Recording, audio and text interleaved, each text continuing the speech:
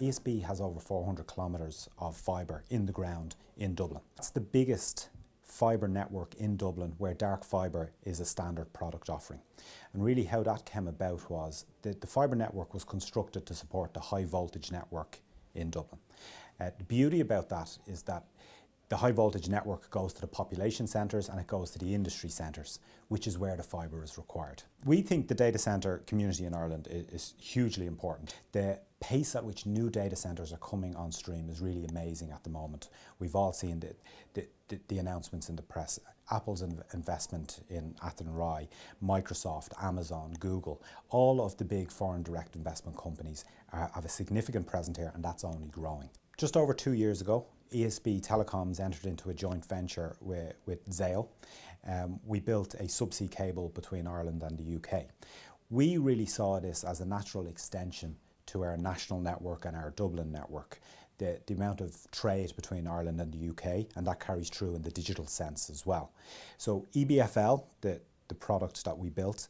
Uh, it's been hugely su successful. There's three customers on it already. There's a very healthy pipeline out into the short and medium term. For the future, ESB Telecoms would love to be involved in more of these strategic opportunities, partnerships, where we can uh, where we can bring to market our core goals of building high quality, resilient infrastructure. So we'd welcome any opportunities to partner in the future. ESB Telecom sees itself as an infrastructure provider.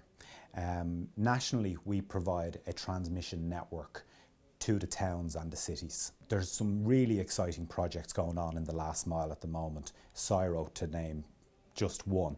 We see ourselves as supporting all those projects and providing a service into those projects and being a, a and complementing what they do so that the end-to-end -end service works and the customer gets the benefit. One specific uh, initiative that we're just about to launch is ESB Telecom's Metro Express. What this is, is a high capacity dark fibre route between Citywest and Clonshaugh.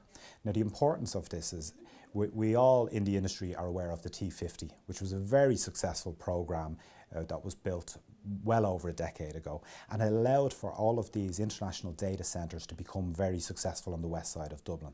What ESB Telecoms is doing now is creating a natural ring between Citywest and Clonshaugh, which will allow those data centres to continue to grow and add security and resilience to the network in which they operate.